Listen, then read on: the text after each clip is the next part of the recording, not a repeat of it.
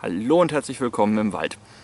Ähm, wir hatten eine Abstimmung, welches Thema ich als nächstes behandeln soll und rausgekommen ist der Wolf, wie ihr im Titel auch schon gelesen habt. Ich will da jetzt also gar nicht so weiter drauf eingehen, sonst wird das hier nämlich noch länger, als es voraussichtlich ohnehin werden wird und ähm, das möchte ich doch ganz gerne vermeiden.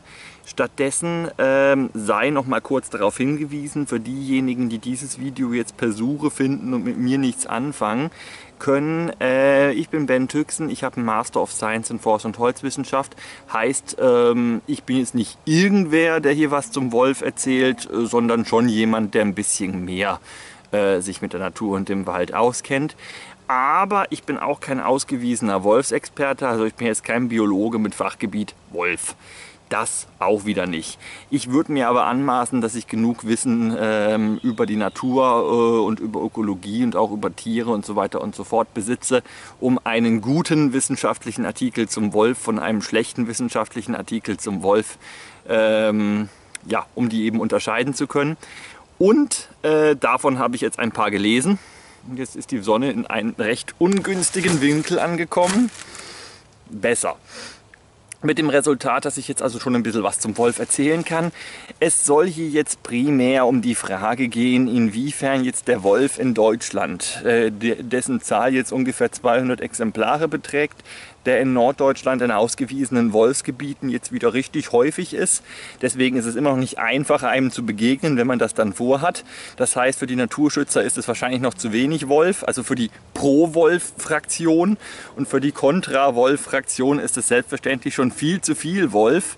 Ähm, zumal er jetzt sich dann halt langsam jetzt auch noch ziemlich nach Niedersachsen ausbreitet und da auch schon ordentlich anwesend ist. Ähm, vor 15 Jahren war er ja noch nur in der Lausitz anzutreffen auf dem Truppenübungsplatz und breitet sich jetzt immer weiter über Deutschland aus. Ich blende euch zu diesem Zweck auch mal schnell eine kleine Übersichtskarte ein. Auf der könnt ihr dann jetzt erkennen, äh, wo der Wolf derzeit sich überall rumtreibt. Er ist weiter auf dem Vormarsch, definitiv, und er wird sich wahrscheinlich, wenn wir ihn dann lassen, in komplett Deutschland ausbreiten. Es gibt nämlich hier nirgendwo einen Lebensraum, in dem der Wolf per se nicht leben könnte, mal ausgenommen die Städte. Äh, also anders als der Fuchs ist es für den Wolf nicht möglich, mitten in der Stadt zu wohnen. Also so ein Stadtfuchs, wie es ihn in Berlin wirklich haufenweise gibt, das wäre beim Wolf nicht vorstellbar. Also da äh, kann man sich, glaube ich, relativ sicher sein, dass das nicht passieren wird. So, jetzt mal ein kurz ein paar Worte zur Lebensweise vom Wolf.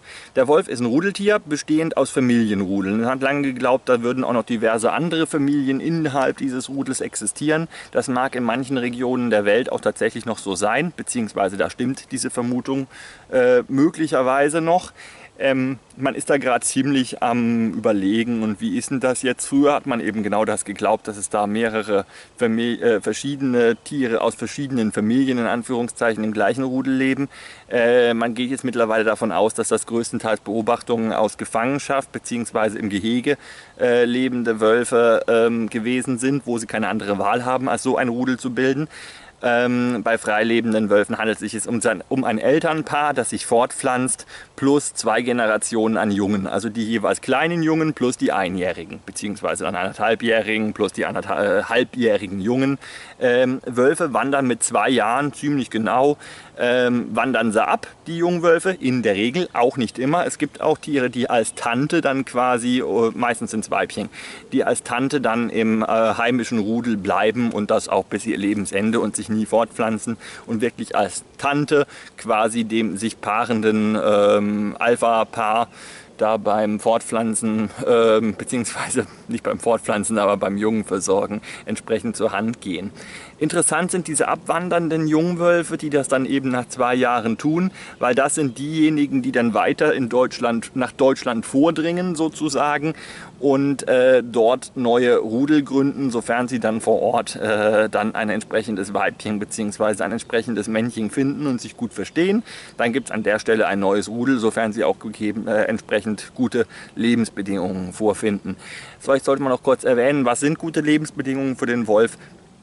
Deutschland ist ein Schlaraffenland, wolftechnisch gesehen. Wir haben überall wirklich mehr als genug äh, Wild, dass der Wolf problemlos vom Wild allein leben kann und es besteht in keinster Weise die Notwendigkeit für den Wolf, Haustiere zu reißen, was er tatsächlich auch nur in 1% äh, der Fälle, wo er irgendwas frisst, äh, tut. Also da braucht man jetzt auch nicht überdramatisieren. Ich nehme es gleich mal vorne weg. So häufig ist das noch nicht, dass es an Haustiere rangeht. Es passiert allerdings auch wiederum schon. Gut, aber Näheres zur Biologie vom Wolf und zum Verhalten vom Wolf, äh, was jetzt nicht relevant ist für die Thematik, ob man vor dem jetzt Angst haben sollte oder nicht, ähm, erspare ich euch jetzt und werde ich dann mal gegebener Zeit, zu gegebener anderer Zeit nachholen, beziehungsweise ihr könnt euch das auch ganz hervorragend äh, in den 97 verschiedenen Internetseiten, die was zum Wolf zu berichten haben, nachlesen. Oder ihr lest mal ein gutes Buch. Zum Wolf gibt es 97 verschiedene tolle hm, halb naturwissenschaftliche Bücher mit irgendwelchen Leuten, die sich mit dem Wolf angefreundet haben und dann mit dem äh, oder im Wolfsrudel ewig lange gelebt haben. Sowas ist meiner Meinung nach sehr lesenswert, führt aber dazu, dass man danach den Wolf hm, ein bisschen hypt sozusagen und ein bisschen vergisst, dass das in 99 Prozent der Fälle eben ein Wildtier ist, das uns potenziell ohne weiteres töten und fressen kann und das unter gewissen Umständen tatsächlich auch schon getan hat und wahrscheinlich auch weiterhin tun wird, sofern es dann diese gewissen Umstände dazu sind. Ähm, das also auch vorweg. Es geht schon, dass man vom Wolf angefallen, getötet und gefressen wird. Das passiert durchaus. Es ist zwar nicht sehr wahrscheinlich, aber es geht. Wenn man die politische Diskussion, ob wir den Wolf nun haben wollen oder nicht, äh, außen vor lässt, dann lässt sich die Frage, ob der Wolf hier reingehört, definitiv mit einem ganz klaren Ja beantworten, weil er schon vorher da war. Und auch tatsächlich eine wichtige Ergänzung der Biodiversität darstellt und einen Kreislauf ins Ökosystem deutscher Wald einfügt, der bisher gefehlt hat, dass nämlich eben das äh, Wild zwar sehr wohl ein Fluchtverhalten zeigt und ein bestimmtes Verhalten aufgrund des Prädatorendrucks, der da ist, bisher zeigt, aber dieser Prädatorendruck, der eben bisher da ist, besteht darin, dass der Jäger auf dem Hochsitz sitzt, im Wesentlichen, wenn er mal gerade keine Bewegungsjagd macht. Und das ist natürlich ein ne, wildfernes Verhalten, muss man auch sagen. Das ist ein spezielles Verhalten des Wildes, das sich daran angepasst hat, dass es eben vom Mensch bejagt wird, der bestimmte Bejagungsweisen verwendet, die in der Natur so sonst nirgendwo vorkommen. Und das Vorhandensein des Wolfes würde also unabhängig davon, ob auch weiterhin der Jäger auf dem Hochsitz hockt oder nicht, dazu führen, dass das Wild sein natürliches äh, Feindvermeidungsverhalten wieder annimmt und genau weiß man es nicht, aber man geht davon aus, dass eben das natürliche Feindvermeidungsverhalten, äh, das ähm, Jäger hockt auf dem Hochsitz Feindvermeidungsverhalten überlagern würde. Und das hätte zur Folge, dass der Jäger sich darauf einstellen müsste, irgendwie anders zu jagen, weil die Tiere eben sich anders verhalten und anders sich benehmen und die bisherigen Jagdmöglichkeiten vielleicht nichts mehr taugen. Ähm, die führenden Jagdwissenschaftler bzw. Wildtiermanagement-Wissenschaftler äh, gehen allerdings davon aus, dass es kein Problem darstellen wird, wenn Wolf plus Jäger beide was erlegen wollen im Wald. Also man geht davon aus, dass das durchaus noch weiterhin möglich sein wird, dass ein Jäger hin und wieder mal ein Reh findet, das er schießen kann und gleichzeitig der Wolf nicht verhungert. Das haben jetzt bisher äh, Studien aus Ländern ergeben, die halt eben äh, Wolf plus normale Jagd haben. Ähm, da gab es bisher überhaupt keine Probleme, dadurch, dass also äh, derart, dass die Jäger nichts mehr zum Schießen gefunden hätten. Und da, wo wir jetzt seit 15 Jahren die Wölfe haben, in diesem Gebiet, finden die Jäger auch weiterhin wunderbar äh, ihr Viehzeug zum Abschießen. Also es gibt weiterhin vergleichsweise hohe Abschusszahlen. Jetzt nicht die allerhöchsten überhaupt, aber ähm, es sollte auf jeden Fall noch auf einem Niveau sein, wo sich der durchschnittliche Jäger nicht beschweren dürfte. Insbesondere dann nicht, äh, wenn es sich um Jäger handelt, die halt eben eine Hege ihres Wildes betreiben und ohnehin nicht so große Stückzahlen erlegen wollen, wie das zum Beispiel beim Fleischjäger der Fall ist, der auch, wenn drei Rehe dastehen, halt dann auch drei Rehe abknallt und äh, drei Rehe ausnimmt und drei Rehe in den Kofferraum schmeißt und mit nach Hause fährt. Das würde ein Jäger, der eine gezielte Hege seines Wildes, also eine Pflege, das kann man so mehr oder weniger gemeinsprachlich mit Pflege übersetzen, indem einzelne Exemplare entnommen werden, die aus verschiedenen böse gemeint Zuchtparametern äh, nicht ins Gesamtsystem passen. Ähm, man behauptet, beziehungsweise es gibt Ansätze, dass äh, auch die natürlichen Raubtiere so vorgehen, indem sie sich eben ein bestimmtes schwaches Tier aus einer Herde heraussuchen, das sie dann jagen. Interessant ist jetzt, dass beim Wolf in Deutschland dieses Verhalten nicht zu beobachten ist. Wenn man sich nämlich das mal anschaut, wie alt die Rehwildpopulation ist, die der Wolf so futtert, dann äh, entspricht der Anteil der gefutterten Jungtiere dem Anteil, ähm, den die Jungtiere an der Gesamtrehpopulation auch haben. Das heißt, der frisst random durch die Rehe durch. Also er nimmt aus jeder Altersklasse gleich viele Rehe und mampft halt eben mehr oder weniger. Es sieht so aus, als würde er das mampfen, was ihm gerade mehr oder weniger über den Weg läuft. Könnte daran liegen, dass sich die Rehe noch nicht so sehr daran gewöhnt haben, dass der Wolf wieder da ist. Könnte auch daran liegen, dass der Wolf definitiv ein sehr effektiver Jäger ist und äh, die Jagd im Rudel wirklich ein extrem effektiver Mechanismus ist, um ähm, ja, Beute zu machen. Der Wolf hat also eine äh, überdurchschnittlich hohe Erfolgsrate, wenn er dann jagen geht. Gut, das waren jetzt so meiner Meinung nach die Dinge, die ihr dringend wissen musstet äh, von der naturwissenschaftlichen Seite des Ganzen. Ob wir jetzt einen Wolf haben wollen bei uns oder nicht, beziehungsweise ob wir vor dem Angst haben müssen oder nicht, äh, hängt jetzt im Wesentlichen davon ab, vom politischen Willen. Es ist tatsächlich im Großen und Ganzen meiner Meinung nach tatsächlich einfach eine politische Diskussion. Wollen wir das Geld ausgeben, um es dem Wolf zu ermöglichen, beziehungsweise uns zu ermöglichen, mit dem Wolf klarzukommen, weil das kostet. Das wird noch viel mehr kosten, als es aktuell kostet und aktuell kostet es schon relativ viel. Ähm, natürlich immer noch Peanuts, wenn man sich mal anguckt, was an Geld in Griechenland verbrannt wird. Aber äh, keine Waldpolitik. Was keine Waldpolitik ist, sollte ich die Klappe zuhalten. Aber äh, das ist halt gerade so aktuell das Thema, das konnte ich mir nicht verkneifen. Also offensichtlich ist das Geld scheinbar irgendwo da auf EU-Ebene. Ein EU-weites Wolf-Management-Programm wäre so gesehen also möglich. Gehen wir jetzt mal kurz die einzelnen Interessen der verschiedenen Gruppen, die bei der Wolf-Diskussion eine große Rolle spielen, durch. Da wäre zum einen die Jäger. Interessanterweise, was viele überrascht, ist, dass die Jäger sagen, selbstverständlich haben wir überhaupt nichts gegen den Wolf und sind erst herzlich willkommen und darf jederzeit hier einziehen. Aber, und damit haben die Jäger vollkommen recht, und ich spreche jetzt vom DJV, also vom Deutschen Jagdverband, den aus wissenschaftlicher Sicht ähm, bisschen weniger offenen Jägern für Neuerungen und erstaunlicherweise haben, äh, was heißt erstaunlich, das tut mir jetzt schon wieder leid, wenn ich erstaunlicherweise sage. Jedenfalls haben die ein äh, Positionspapier rausgegeben, ähm, in dem wirklich sehr, sehr, sehr gute Ansätze drinstehen, was Sie Ihrer Meinung nach ähm, an Forderungen an die Politik und die Gesellschaft und die Wissenschaft haben, was gemacht werden muss, damit das mit dem Wolf hier klappt. Und das ist im Wesentlichen zusammenfassend, könnte man sagen, Monitoring. Dass man also jederzeit weiß, es sind in Gebiet XY so und so viele Wölfe, dass man auch weiß, äh, neuer Wolf rennt nach da und da, es gibt die und die üblichen Wanderrouten.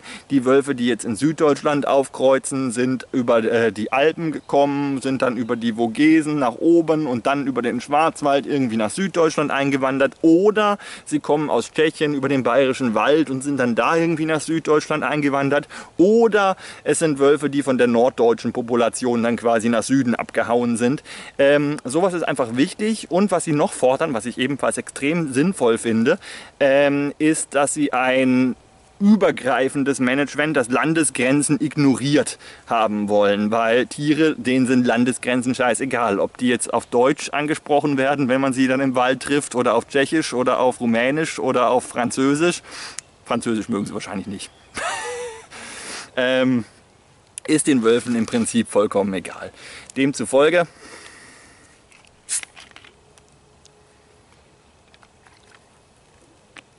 So, jetzt warum sagt der Jagdverband jetzt sowas? Man könnte da fast ein bisschen überrascht sein, die Wölfe fressen denen doch ihre Beute weg sozusagen. Da gibt es doch einen gewissen Konkurrenzdruck. Ähm, es überwiegt tatsächlich scheinbar dabei, also so würde ich das zumindest interpretieren und so wird es bestimmt ein entsprechender hohes Tier des äh, Deutschen Jagdverbandes ähm, auch so sagen. Was dabei wirklich die Hauptrolle spielt bei diesem Gedanken, dass der Wolf willkommen ist, ist der, Naturschutz, der Naturschutzaspekt, den ein Jäger sich auch immer auf die Fahnen geschrieben hat. Völlig zu Recht und das tun sie auch wirklich. Also ein Jäger ist auch immer ein Schützer. Ähm, ganz wichtig, merkt euch das, das ist wirklich immer so. Also man kann den Jäger nicht unterstellen, dass sie in irgendeiner Form was Schlechtes für die Natur tun. Im Gegenteil, die Jagd ist wichtig und nötig. Also absolut, da gibt es überhaupt kein Wenn und Aber, das ist so. Also wenn da irgendwelche äh, Idioten durch die Gegend rennen, pardon, aber wirklich, es sind Idioten, die dann sagen, äh, Tiermörder, ist völliger Schwachsinn und nein, nein, nein, nein. Nichtsdestotrotz finde ich es eben gerade deswegen toll, dass die Jäger tatsächlich sagen, der Wolf ist willkommen, der gehört hierher, das ist ein natürlicher Bestandteil unseres Ökosystems und unter anderem aus diesem Grund wollen wir den auch wieder haben, aber wir behalten uns eben vor, dass wir beobachten, wie, was macht die Wolfpopulation, wir wollen genau wissen, und das ist noch mal eine ihrer Kernthesen, dass sie auch echt ähm, gerne haben wollen, in Anführungszeichen, dass ähm, ihnen gesagt wird, wo sind jetzt wie und wie viele Wölfe. Also sie wollen, dass sämtliche Daten, die zu den Wölfen erhoben werden, auch für alle, jedermann öffentlich gemacht werden, dass man immer jederzeit schauen kann, auch als kleiner Jäger, wie viele Wölfe habe ich jetzt hier bei mir unterwegs und so weiter und so fort. Warum wollen sie das? Wenn der Wolf dann mal eine Populationsdichte erreicht, dass er tatsächlich dann wieder selber bejagt werden muss, dann natürlich durch unsere deutsche Jägerschaft, äh, dann wollen sie das natürlich wissen und wollen dann rechtzeitig entsprechende Maßnahmen ergreifen können, um die Wolfspopulation äh, wieder ein wenig zu reduzieren, damit halt eben auch die Population anderer Tierarten nicht gefährdet wird. Knackpunkt ist dabei das Muffelwild, ähm, das Muffelschaf auch genannt. Das ist zwar eingeführt bei uns, das ist eigentlich eine Wildschafart von Korsika, meine ich, also jedenfalls irgendeine Mittelmeerinsel. Und ähm, ja, wurde in dem Gebiet, in dem der Wolf jetzt so richtig krass unterwegs ist, also da in der Lausitz, tatsächlich vom Wolf ausgerottet. Weil Schaffangen ist für den so einfach wie, das geht also wirklich problemlos. Ähm, entsprechend holt er sich die dann auch relativ schnell, weil der ist ja auch faul, wenn der da quasi äh, Happy Meal äh, in der Ecke rumstehen hat mit allem drum und dran und Schaf scheint ihm auch gut zu schmecken, dann nimmt er sich halt eben das Schaf und geht nicht lange auf die Suche nach Reh, das wegrennt. Wobei so ein Muffelschaf ist es mit einem Hausschaf auch nicht zu vergleichen. Also wenn man versucht mal ein normales Hausschaf einzufangen, das kann man als Mensch schaffen, die sind so lahm, die holst du ein unter normalen Bedingungen. Äh, ein Muffelschaf, ah, die sind schon recht flott. Ich habe es mal versucht, ich wollte die ewig filmen, war im Wildgehege unterwegs. Das heißt, die hatten nur begrenzt Möglichkeiten, mir auszuweichen. Aber ich bin trotzdem nie an die Viecher rangekommen. Die passen auch gut aus. Sobald sich denen irgendwas nähert, was sie nicht kennen, zoom, sind sie weg. Und zwar alle miteinander. Das Rotwild hingegen ist da erheblich einfacher dran zu kommen, weil die sich denken, ach, du bist auch nicht viel größer als ich, du kannst mir gar nicht so viel tun. Ich gucke dich jetzt erstmal an, bevor ich wegrenne mal im bemenschlichten Sinne, aber das ist schon wieder ein Exkurs. Ja, das ist so ein bisschen die Position der Jagd also entsprechend gewesen. Ähm, die Jäger sind also aller, ja, die ökologischen Jäger sowieso, der ÖJV, der ist ja für alles äh, biodiversitätstechnisch irgendwie relevante, was es irgendwie im Wald geben kann. Das ist überhaupt keine Diskussion, ob die den Wolf haben wollen. Die wollen auch den Luchsenbär, die Wildkatze und alles andere, was irgendwie ähm, hier mal war. Ähm, demzufolge überrascht mich aber umso mehr, dass das tatsächlich auch der DJV auch eben so sagt. Das ist eine Überraschung gewesen. Damit hatte ich wirklich nicht gerechnet und ist was, wo ich mich wirklich bei der Recherche ähm, auch gefreut habe, dass da solche Einigkeit von Seiten der Experten herrscht. Denn die Naturwissenschaft sagt, Wolf, check.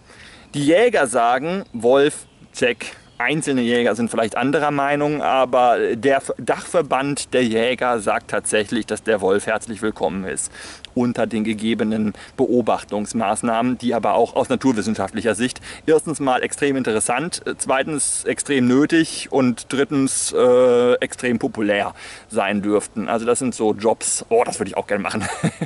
also so in irgendeiner Form mit dem Wolf arbeiten, wobei die dann natürlich lieber einen Biologen als einen Förster nehmen. Es ist jetzt weniger wichtig, ähm, an welche Bäume der Wolf pinkelt und was für einen Forst, äh, forstwirtschaftlichen Einfluss Wolfurin am Baum hat, ähm, als was der Wolf so tut, so populationsdynamische Geschichten und so weiter.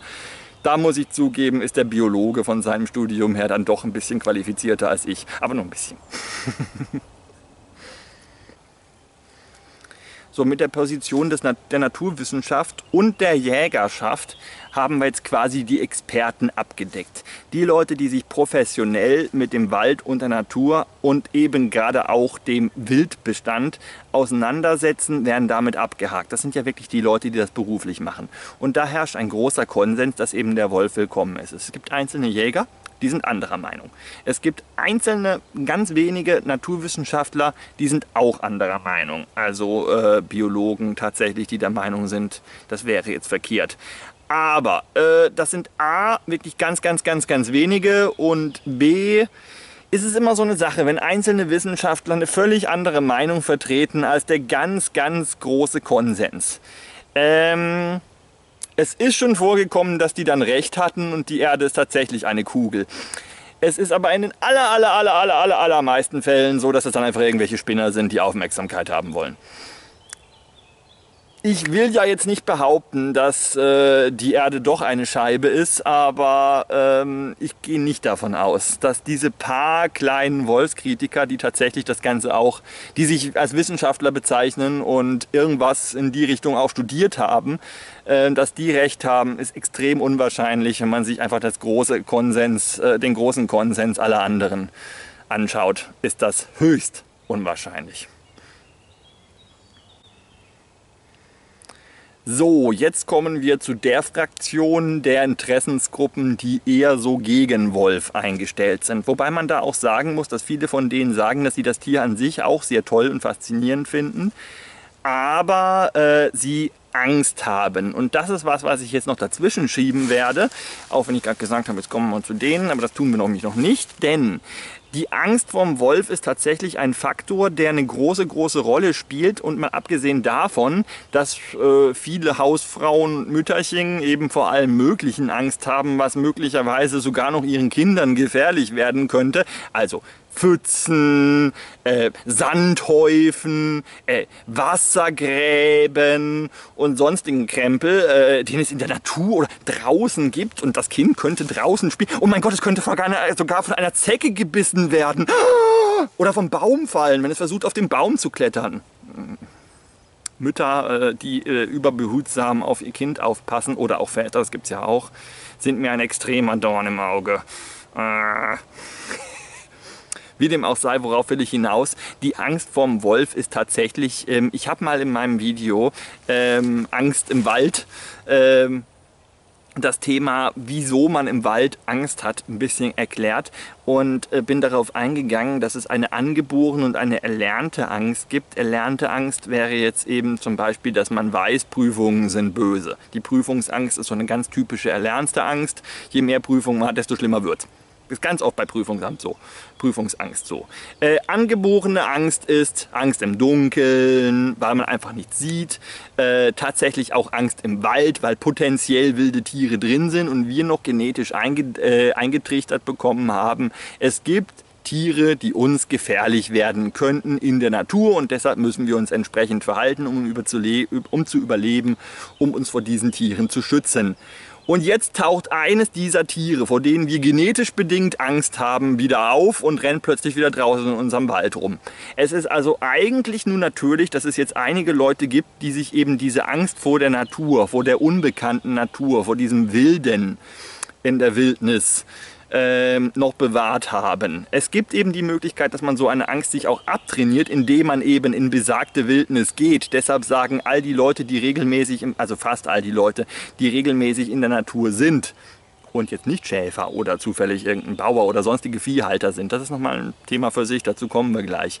Aber all die Waldtouristen, die gerne in den Wald gehen, um da eben touristisch aktiv zu sein und insbesondere fast nahezu alle Bushcrafter ähm, und Survival-Menschen und sonstige, allein schon weil sie die Natur mögen, können sie nicht kaum den Wolf verbieten, der vor uns hier da war. Das wird keiner von euch jetzt in die Kommentare schreiben. Das kann ich mir absolut nicht vorstellen, dass ihr sagt, wir wollen, ihr wollt keinen Wolf, damit ihr draußen im Wald und eure Plane keine Angst haben müsst ist. Der Wolf war vor uns da, der hat ja auch ein Recht hier zu sein und zwar das gleiche wie wir. Wenn wir da wirklich demokratisch und wenn wir wirklich sagen, wir mögen die Natur an die Sache rangehen, ist der Fall ja absolut klar, dass wir alle pro Wolf sind. Wir, die wir jetzt hier solche äh, Waldaktivitäten betreiben. Ja, ähm, aber, jetzt bin ich abgeschweift.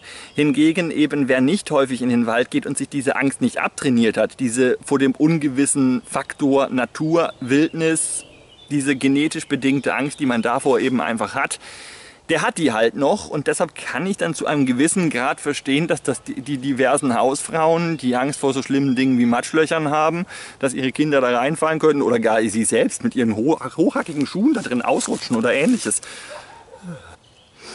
Naja, ähm, dass diesejenigen, diese Fraktion an Leuten tatsächlich dann eben Angst vom Wolf hat, kann ich irgendwo verstehen.